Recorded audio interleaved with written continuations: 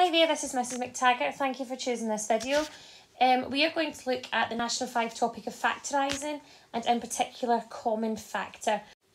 Before I go into the process of common factor, you should be aware of terms like highest common factor and the word factor in general. Pupils of mine always get confused between multiples and factors. So if I ask you for the factors of a number, I'm looking for all the numbers to divide by. So if I asked you for factors of 60, you could tell me that it divides by 1 and 60, 2 and 30, 3 and 20, 4 and 15, and I'm missing one, 5 and 12, and 6 and 10. Probably not the best one to start with because it's got so many factors. But then if I asked you for all the factors of a similar number and I asked you for factors of 48, you could tell me, okay, that's 1 in 48, 2 and 24, 3 and 16, 4 and 12, and then 6 and 8. So I've listed them all in pairs there. Now, there, that's what you'd think of in factors. If I ask you for the highest common factor, then it's the biggest number they both divide by. So you notice they've both got 1, they've both got 2, they've both got 3, they both have got 4, and they both have 6. Oh, and they both actually have 12 as well. So you're looking for the highest possible number there, and in fact, it is 12. So the highest common factor of 60 and 48 is 12. And that's an important part of what we're going to be doing on my examples. And to be honest, as I tell my pupils, if you know your times tables, common factor is really simple to do. So the method we look for is we look at our two terms and you look for a number factor and you also have to look for a letter factor. So that's more obvious, it's a letter that they both have in common. Sometimes it's just a number, sometimes it's just a letter, and sometimes it's a bit of both. So be wary. So if you have a look at these examples here, my first one has 3x, is 3x plus 15. So we're going to follow the steps up here. So we look for a number they have in common. They both divide by 3. So step 2 says you put the highest common factor in front of a bracket. So we have 3 bracket. And then you divide everything by that highest common factor. So you divide everything by 3. So you do 3 divided by 3, which is 1.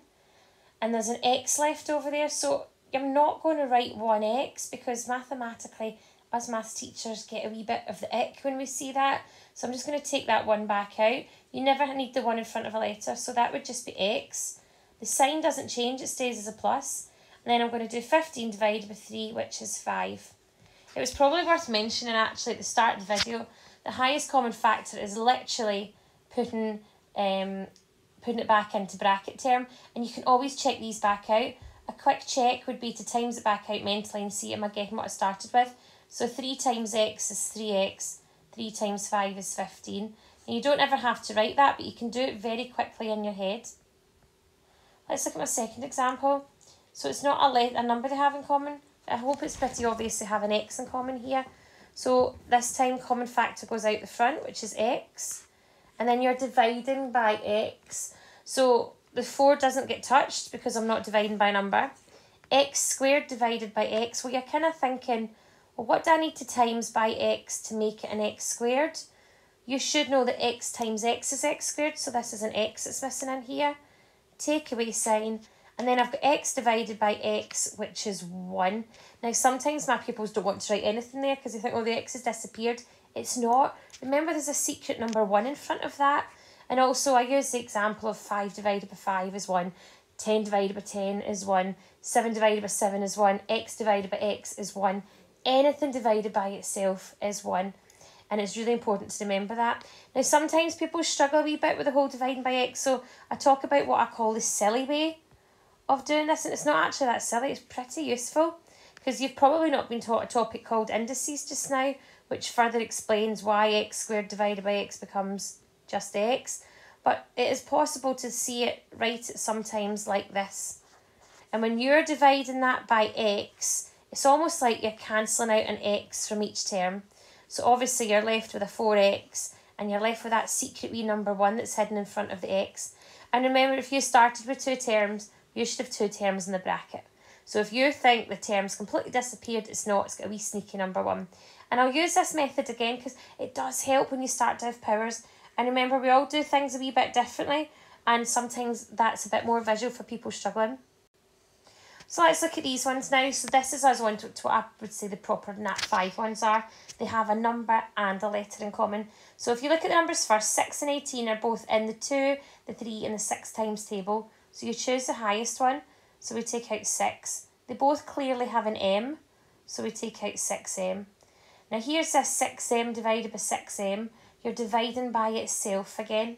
So this just gives us 1. You could do it a bit at a time and go 6 divided by 6 is 1. m divided by m is 1. Either way, the first term becomes 1. And then in the second term, 18 divided by 6 is 3. m squared, remember that stood for mm. We're cancelling out a little m. So we're left with 3m. Remember, quick check will always see if you've got that right. And then my number 4 We've got a 10ab minus 4a cubed. So 10 and 4 are both in the 2 times table. They both have an a in common, so we take out 2a as our common factor. 10 divided by 2 is 5. a divided by a is 1, so the kind of a disappears. And you're still left with a b there. Take away 4 divided by 2 is 2. And a cubed divided by a kind of just lowers the power by one. But remember, if you're not sure, think of A as being A, A, A. And if you're dividing that by A, you're left with AA, which is really another way of writing A squared. So that's those two. I'm going to do a couple more. So 12b plus 20b squared, well, they're both in the 2 and the 4 times table. So we're going to take out the 4 because it's the highest one we need. And they both have a b. So 12 divided by 4 is 3. b divided by b is just 1, or that kind of b cancels out. Plus 20 divided by 4 is 5. And b squared divided by b, hopefully we're all happy now, is b. And on my last example, we have got a 10 and a 15. So they both divide by 5. Now, I've got an x squared and an x cubed, so they both have an x in common. But you also have to be careful. You maybe also have to take out the highest possible power. If I take you back to very basic, um, like maths question from maybe first year or even primary school, if you were doing 6,000 divided by 20, or let's make it 200, the trick there was you could cancel out some zeros and you would only take out the amount of zeros that were common to both question. So in this one you could cancel out 2, in this one you could cancel out 2. It's very similar here. I've got x squared and x cubed. That's like having xx and then a triple x. So I can actually take out a 5x squared here. And then if we do our division, 10 divided by 5 is 2. x squared divided by x squared is 1. It's disappeared. Take away, 15 divided by 5 is 3. And x cubed divided by x squared, well, what do you need to times x squared by to make it cubed? It's just another x. And this is the one where it really helps using that method that I described earlier. If you're not sure, that's it. The first term is x squared, the second term is x cubed. You can take out two x's there, so you can really take out an x squared. Cancel them out, you're left with 1. Cancel two of them out, you're left with an x.